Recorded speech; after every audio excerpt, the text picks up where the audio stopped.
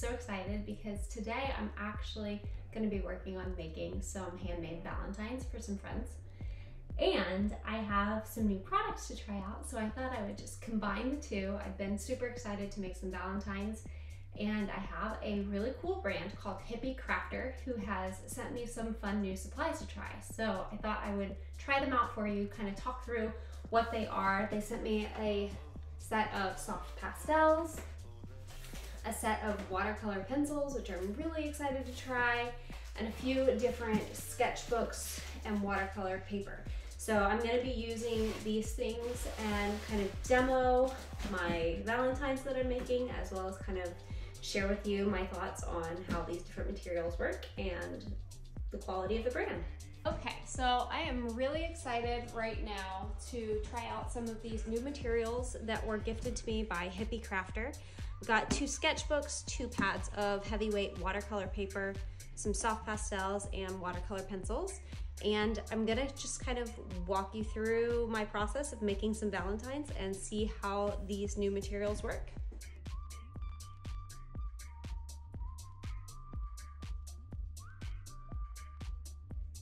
Okay, this is gonna be really great. I'm already blown away by all of my color choices and everything that I have to work with here. So I don't even know how I'm going to select color choices because look how many watercolor pencils there are. This set is phenomenal. Uh, I'm really, really excited to try them. So um, these fun little tin cases that it comes in too is great. Seems like an awesome way to keep things organized. Um, but I am gonna go ahead and pull them out just so I can have access to everything I wanna use. I'll be using these soft pastels after the watercolor pencils, so I'm gonna set them aside for now. Um, I guess to play, before I make my Valentine's, I'm just gonna play a little bit in this sketchbook. This is some nice heavyweight paper. Um, doesn't say it's for, it's mostly, see, dry media, but I am going to break those rules a little bit um, just to kind of see what happens with some of these watercolor pencils.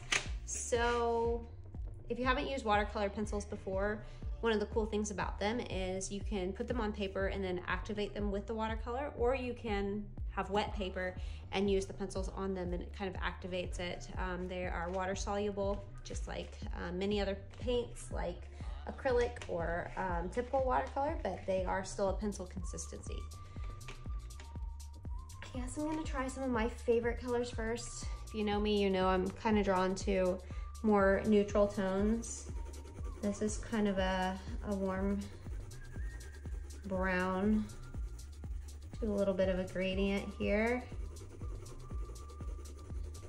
Go a little darker, shades, just kind of testing value a little bit. It's a nice little sepia color. Um, let's come in with this like dark burgundy. Check out this one too. I do like the, the feel of the paper. It is a little bit off-white, um, which is interesting for a sketchbook. I feel like most of the ones I've used are more of a bright white color, but um, I don't hate it. Hmm, let's see, let me choose a pink because I love pink. And let's be real, I'm about to work on some Valentines, so gonna be using some pretty pinks and reds. Coral color. Oh yeah, I love that. What is this one? It's called Flesh Deep. It's the 018 is the number of the color. Oof, I love this color.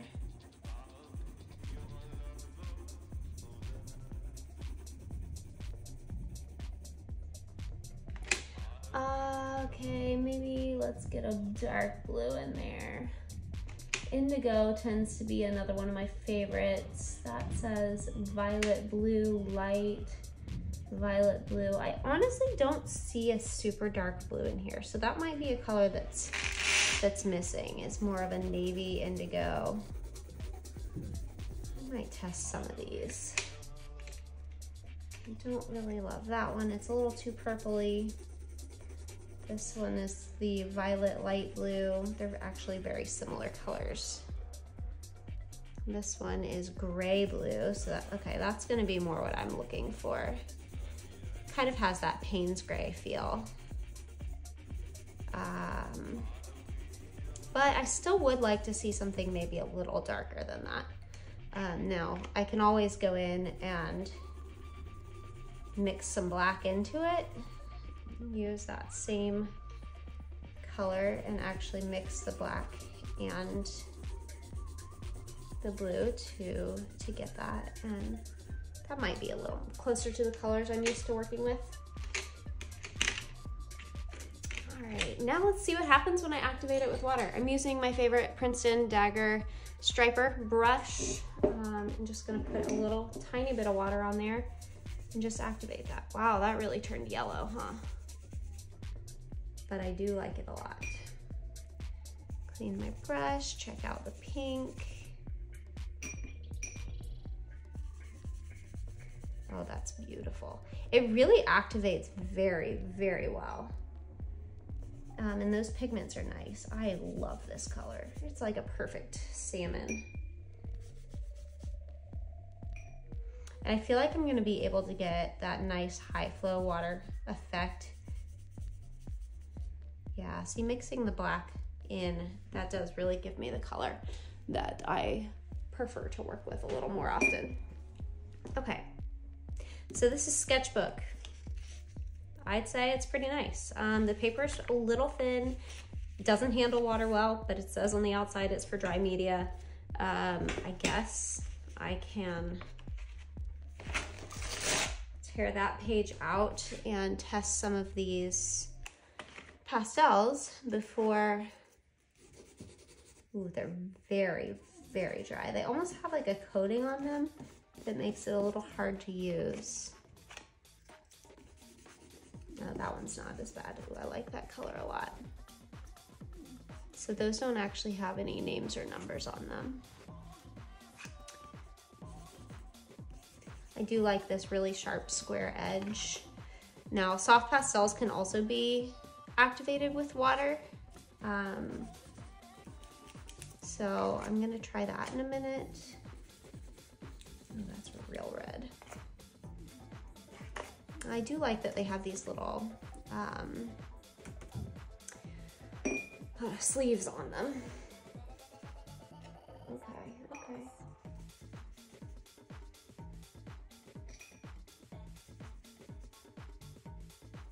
Now that activates, but it also still kind of leaves some sketchy marks in there, which depending what you're doing, could be fun. Okay. I feel like I'm in a good place to start on some Valentines with the watercolor paper. So let's experiment with that next. All right, so this, this watercolor paper comes in 9 by 12 sheets, which is actually what I'm used to working with. Um, I usually use Canson watercolor paper in pads just like this, and I cut it down into 4 by 6s um, because that's how I prefer to work. But today, I'm gonna be creating some fun abstract hearts and then actually just cutting them out with an X-Acto. So I'm just gonna work on one big sheet. Um, let me go ahead and pick out some of my favorite colors here.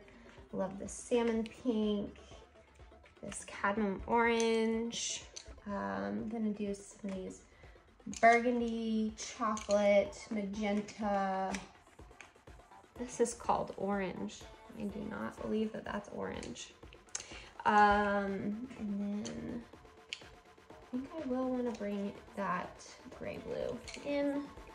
Some of my favorites, and then also a gray and a dark green. And I will go ahead and move the rest of these off to the side. So if you know me at all, my process typically goes with some abstract watercolor washes, mixing in some pastel, and then I love to come in with heavy body acrylic on a palette knife to give it some texture. So I'm gonna follow that same process. I did not get any um, acrylics from Hippie Crafter, but I have some fun new colors I wanted to try from some other brands. So I will bring those in as well. So let's come in here and just start with some abstract. Now remember, this is gonna end up being cut out as a heart in the end. Um, but I'm just gonna start with some abstract washes and shapes. Mixing some of my favorite colors in there.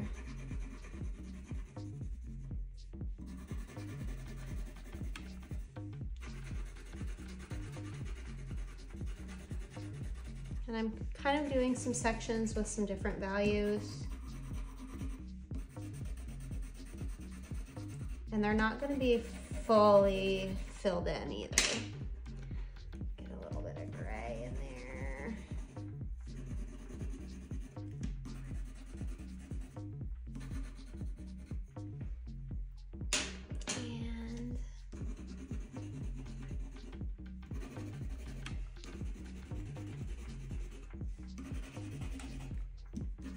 I'm honestly literally just gonna activate these with water and let them kind of meld together. Um, and then I'm gonna come in with this gray blue and add some line work on the wet shapes. So this paper, I'm liking it. Um, it seems very durable. I'm gonna go ahead and mix my colors to create my fun washes in there. Um, but I'm gonna come back and do the gray last because I didn't really like how it kind of got lost in here.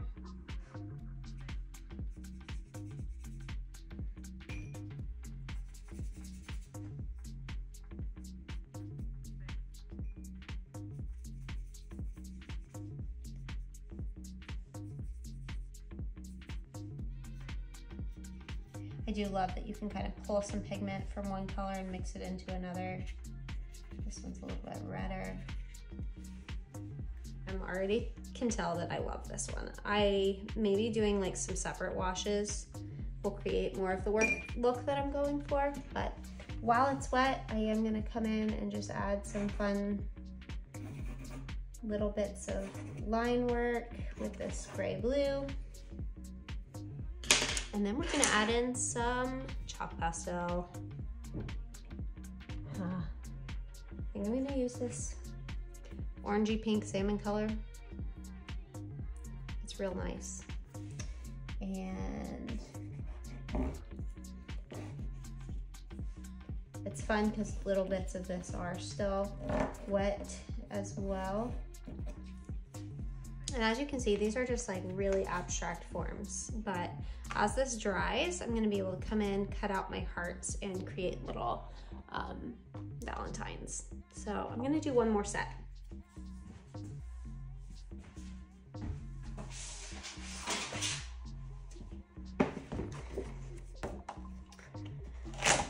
Another sheet.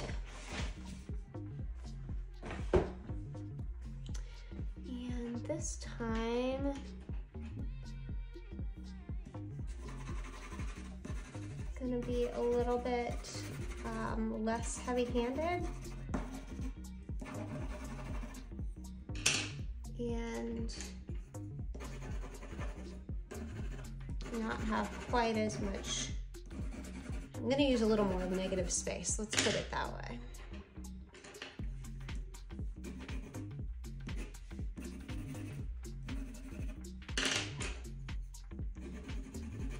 Was a little more brown than I wanted, so I really want it to be more burgundy, dark red.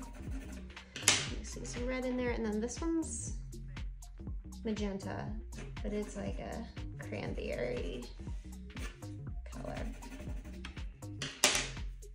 Okay. Again, using that same brush, I'm gonna activate like some spots and not others. Just so we have kind of some interest with like the dry, the wet, the interaction with water, the knot.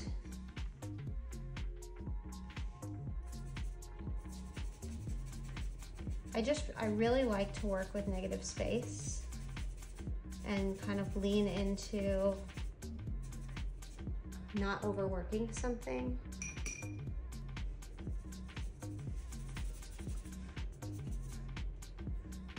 We're just gonna do these kind of blocky, chunky washes on this one as opposed to like on this one where I used a whole lot of water to brush over the whole thing. And I'm gonna use this. Okay. Some little guys there. Maybe this bright pink. This is way out of my comfort zone, but I don't, wow, check that out. I don't hate it. All right, so we're gonna let these dry for a minute and then fix them with a spray fixative so the chalk pastel doesn't just smear all over the place. Um, and then my next step will be adding some acrylic with a palette knife.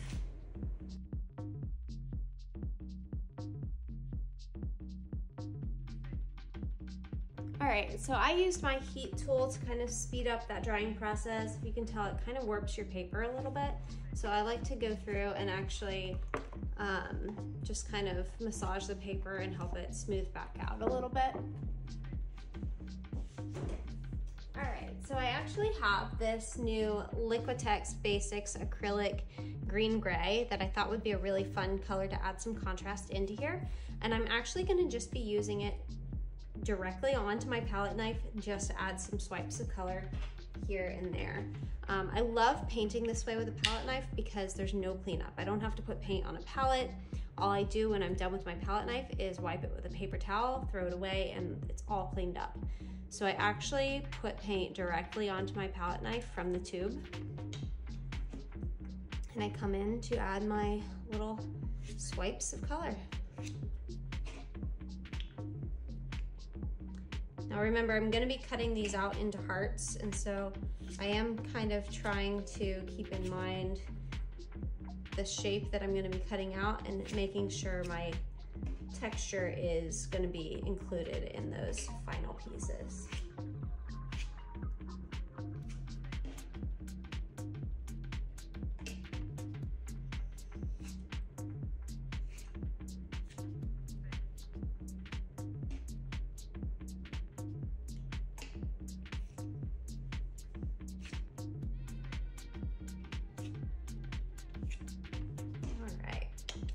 We are gonna let these dry. I'm gonna spray them with a fixative. I use the Blick Matte fixative, which comes in a spray bottle like this. I love how it kind of absorbs through the chalk pastel into the paper and really adheres it to the paper so that you don't get any more smearing or dust falling off. Um, then I will be coming in with an X-Acto knife and cutting out the hearts. All right, so instead of using an X-Acto knife to cut these out, I decided I'm just gonna come in with regular sharp scissors. Um, some of the bits of texture are really thick still, even though most of them are dry. I don't want them to uh, peel or get caught on the knife. So I feel like directly being able to cut through them with the scissors is gonna be a little bit better.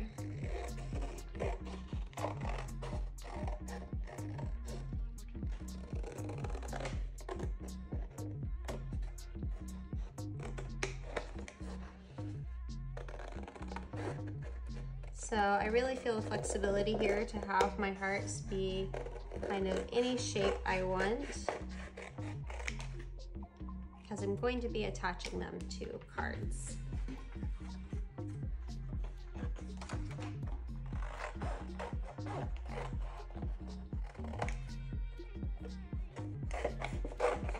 Sometimes it's easier to work on a smaller piece of paper, so I'm gonna go ahead and cut this to size.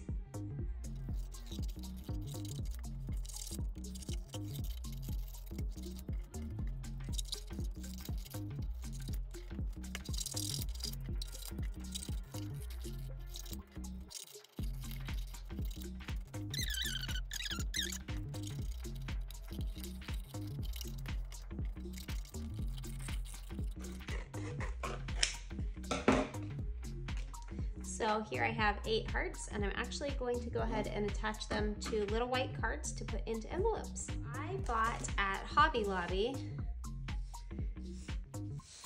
just some Paper Studio cards. They are textured cards with envelopes.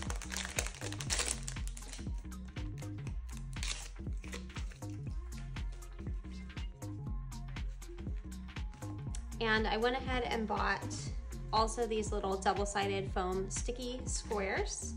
So I'm gonna take my pre-made card.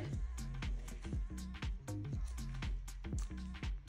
gonna throw three little squares on here.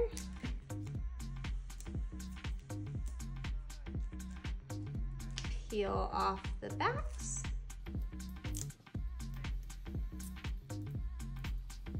And have a perfect place to just set my little card.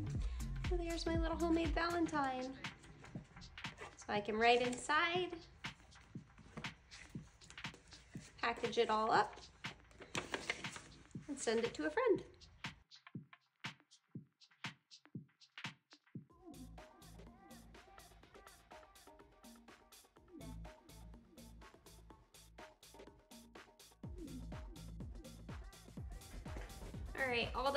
About the shape of these at the end of the day is that they were small enough to fit actually on my A2 size cards. So I did have to go in and cut a little bit of extra paper off of some of my hearts, but they all turned out beautifully.